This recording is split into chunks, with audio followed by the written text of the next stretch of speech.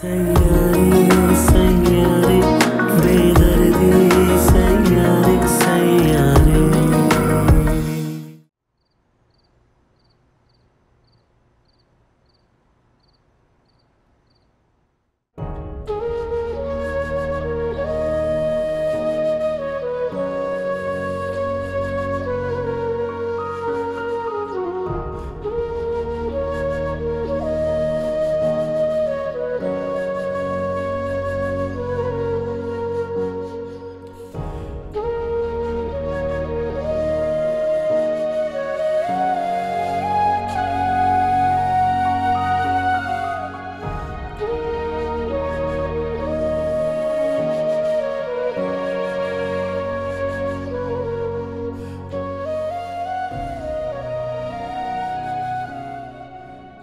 Thank you, Anisha. Thank you for understanding my situation. पता है मैं तो आज बहुत डर गया था जब बजी ने तुमसे कहा कि वो तुम्हें अपने साथ लेकर जा रहा है लेकिन मेरी जान में जान तब आई जब तुमने इनकार कर दिया तुम नहीं जानती तुमने इस मुश्किल वक्त में मेरा हाथ थाम कर मुझे प्लीज़ इस गलत फहमी में मत आना कि मैं यहाँ आपके लिए रुकी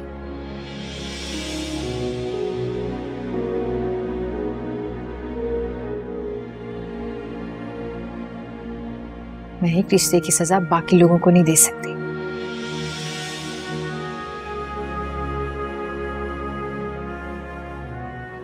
आपने बिल्कुल ठीक कहा। भाई को आपकी जाती ज़िंदगी में मदाखलत नहीं करनी चाहिए थी। नहीं अनीशा तुम गलत समझ रही हो। मैंने बस गुस्से में उससे गुस्से में? चले गुस्से में इसे आपने बता तो दिया कि आपकी ज़िंदगी में किसकी क्या अहमियत है।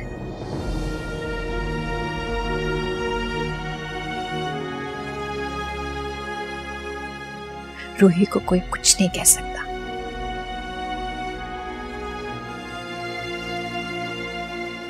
चाहे वो भाई क्यों ना आप उसके खिलाफ कुछ नहीं सुनेंगे।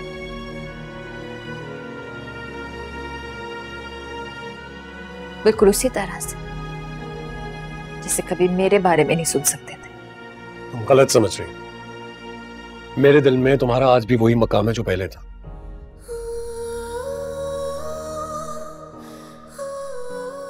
और रूही से मैं नफरत करता था और सारी ज़िंदगी नफरत करता रहूँगा लेकिन तुम्हें इस बात का यकीन कभी नहीं आएगा, अनीशा। मुझे लगता है जब तुम्हें इस बात का यकीन आएगा, तब तक बहुत देर हो चुकी होगी, क्योंकि मैं मर जाऊँगा। एक बात याद रखो। अब चाहे कुछ भी हो जाए, मैं कितनी कोशिश क्यों ना करूँ, मैं अपनी बेगुनाही तुम्हें साबित नहीं कर पाऊँगा।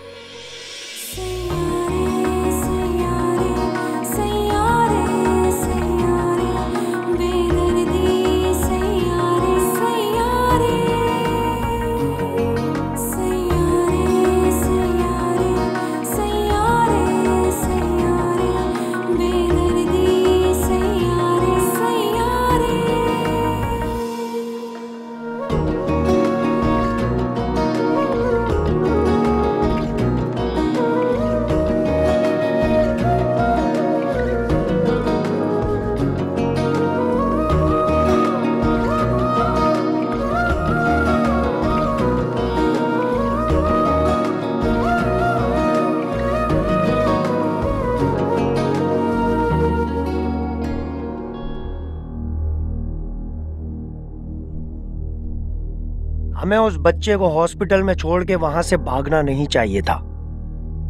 अगर रुई मैडम को पता चल गया कि उसका बच्चा लापता हो गया है तो वो हम में से किसी को नहीं छोड़ेगी।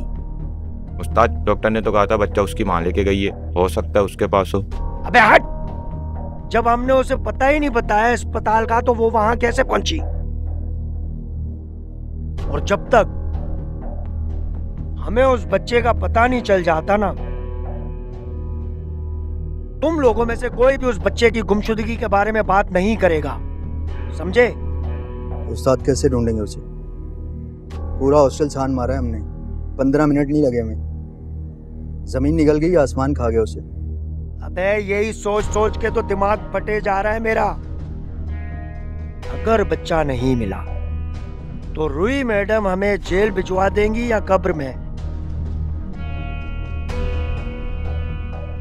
तो आप क्या करेंगे उस्ताद खाली पेट इस मसले से नहीं निमट सकता। कुछ खा लू, फिर सोचता हूँ इस बारे में।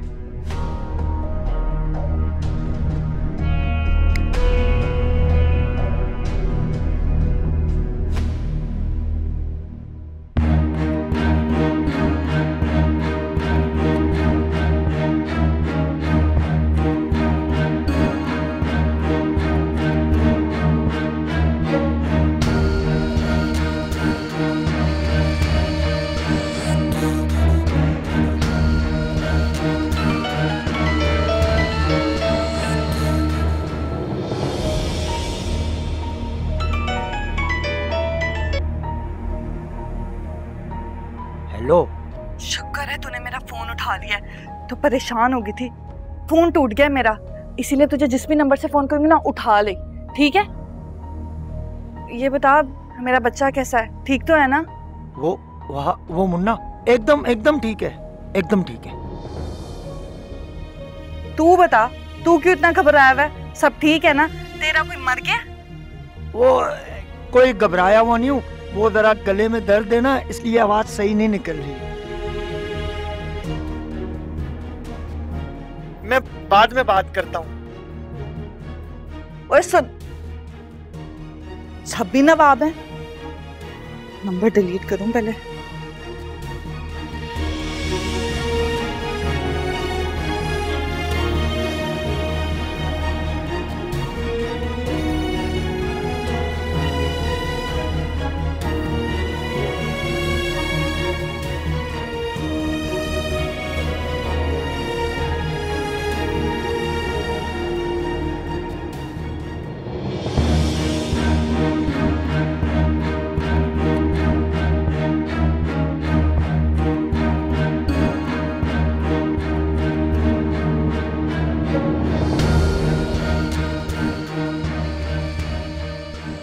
लेकिन आप फ़िक्र मत करें, मेरी नमल से बात हुई है।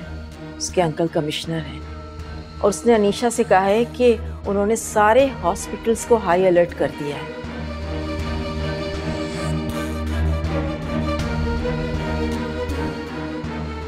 मुमकिन है कि रेहान का हमें एक आध दिन में पता चल जाए। और जब हमें पता चल जाएगा ना तो फिर इस रूही से जान छूट जाएगी हमारी।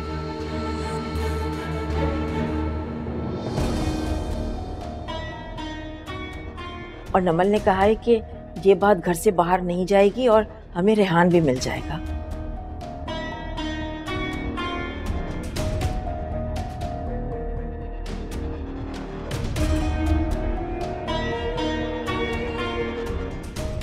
अपनी औलाद को बेसाखी बनाकर जिस मंजिल तक तुम पहुँचना चाहती हो ना, वहाँ पर तुम कभी नहीं पहुँच पाओगी।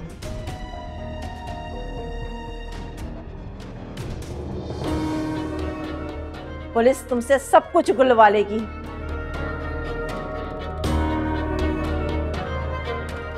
रेहान कैसा है और तुमने उसे कहाँ छुपा के रखा हुआ है?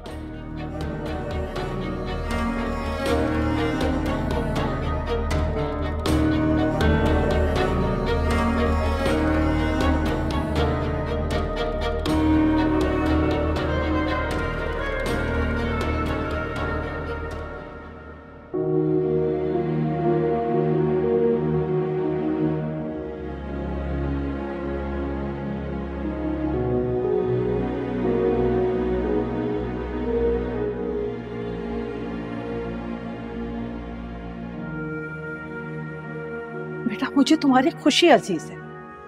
तुमने क्यों जमाने की भीड़ में लाकर मुझे खड़ा कर दिया है? मैं मोहब्बत की दुश्मन नहीं हूँ। मुझे तो बस तुम्हारी फ़िक्र मैं ये चाहती हूँ कि मेरे बाद तुम्हें कोई संभालने वाली आ जाए। तुम्हारी फ़िक्र है और वो रूही अगर मुझे रूही ना मिली तो बिखर जाऊँगा। क्योंकि रूही के सिवा ना मैं कुछ सोच सकता हूँ, ना ही कुछ समझ सकता हूँ। आप कहती है ना कि रूही को मेरी परवाह नहीं? आप देखिएगा, मैं रूही से इतनी मोहब्बत करूँगा, उसको उतना प्यार दूँगा कि वो मेरी परवाह भी करने लगेगी और मुझसे मोहब्बत भी करने लगेगी। अगर शादी के बाद भी ना बदली तो? देखो बेटा, अभी तो तुम उसे पाने के लिए तड़प रहे हो। अगर बाद में पाने के बाद भी तड़पोगे तो फिर क्या होगा?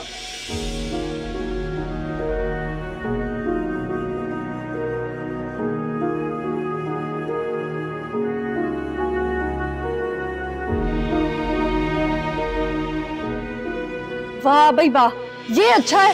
सुबह माँ की बेइज्जत कर जो शाम में बेटा आके माफ़ी मांग ले। हम क्या पागल हैं बेवकूफ़ है हमारी कोई इज़्ज़त नहीं है? रूही बस अम्मा बस तुम तो चुप ही कर जाओ। रूही मैं तुमसे माफ़ी मांग रहा हूँ बल्कि अम्मी की तरफ़ से भी मैं ही माफ़ी मांग रहा हूँ शर्मिंदा हूँ। मैं तो बदकिरदार हूँ ना तुम अपनी शराफत का टोकरा लेकर यहाँ रिश्ता लेने क्यों आ जाते हो? रूही मैं कह रही हूँ ना बस कर दो। अम्मा तुम चुप कर जाओ। तुमने मुझे सुबह भी कुछ नहीं बोलने दिया सुना नहीं था खाला क्या बोल के गई है। कि उनका बेटा मेरे लिए अपनी जान खतरे में डाल रहा है। ओ भाई नहीं चाहिए जाओ यहाँ से निकाले अम्मा इसको। जाके अपनी माँ के आंचल के साथ बैठा रहे ना हमें क्या है? जाओ भाई जाओ जान छोड़ो मेरी। रूही मेरी और अम्मा को फिसला कर अगर तुम्हें लगता है ना कि तुम मुझे हासिल कर लोगे तो ये भूल है तुम्हारी। तुम्हारी ये रोती सूरत ना अम्मा का दिल नरम कर सकती है, लेकिन मेरा नहीं।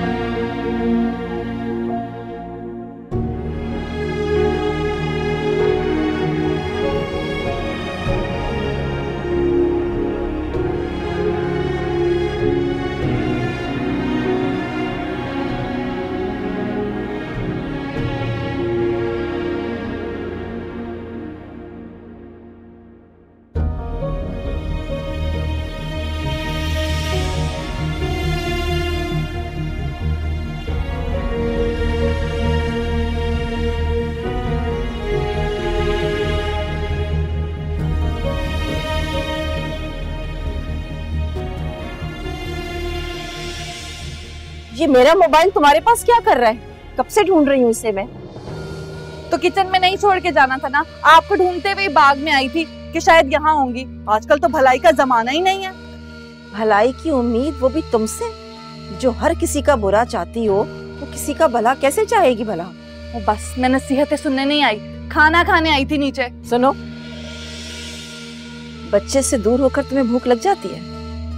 माँ तो वो होती है जो औलाद को देख देख कर जीती है। तुम कैसी माँ हो? मुझे लगता है आपको भूख लगी है। मगर खाना खाने की नहीं मेरा दिमाग खाने की। और इतना टाइम नहीं है मेरे पास। हर वक्त बातें सुनाओ।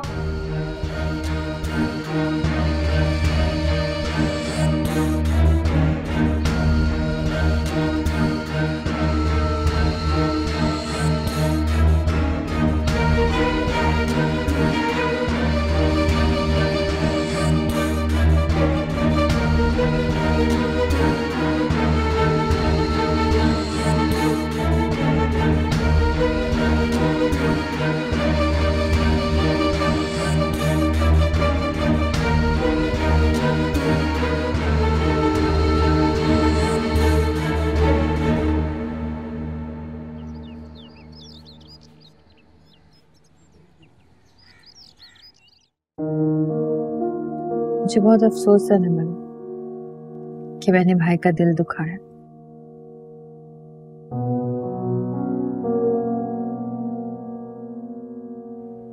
भाई ने मेरी ज़िंदगी में माँ बाप दोनों की कमी पूरी की है।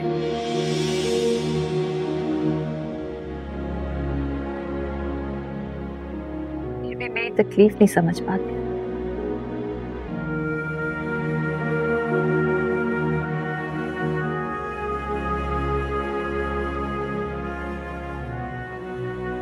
मैं जानती हूँ भाई इस वक्त बहुत परेशान है। प्लीज़ तिमल तुम उनका ख्याल रखना।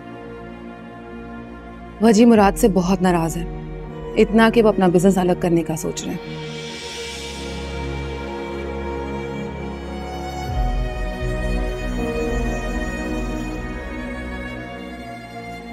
मुराद ने वजी को काफ़ी डिसअपॉइंट किया है।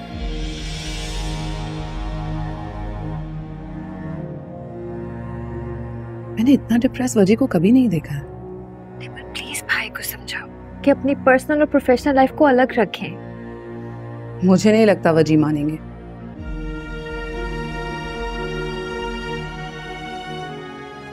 जिस तरह मुराद ने रूही की हिमायत की है ना उन्हें बिल्कुल बेएतबार कर दिया है।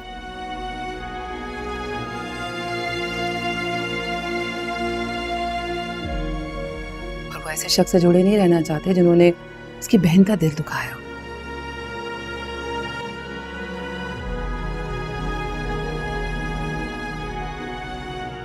सच कहूँ तो मुझे भी मुराद का इस तरह रूही को बचाना बिल्कुल पसंद नहीं आया।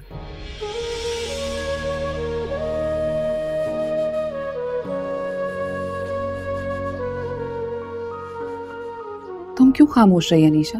तुम्हें कुछ कहना चाहिए था वहाँ? कुछ लड़ाइयाँ बोल कर नहीं चुप रहकर जीती जाती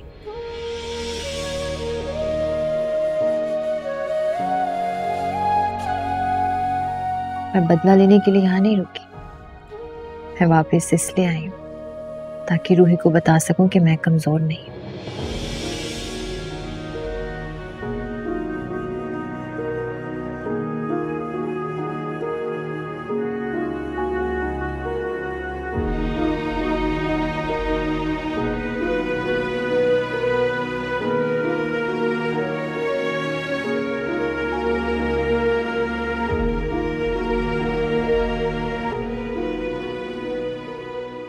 हाथ तो जला लिया। अगर थोड़ा ध्यान दो तो घर जलने से बचा सकती हो। वैसे रिहान के बगैर घर में कितना सोना लग रहा है ना, सब परेशान हो रहे हैं। इसीलिए तो कहती हूँ, अपने शोहर को मना क्यों नहीं लेती हूँ कि मुझसे शादी कर ले?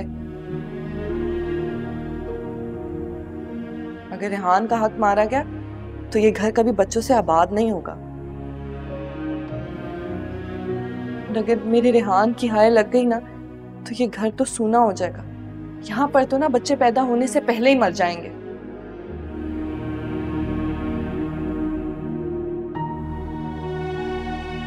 इसीलिए किसी की आह नहीं लेनी चाहिए। वरना तमाम उम्र के घर पोता पोती की आवाज़ें सुनने को तरस जाएगा।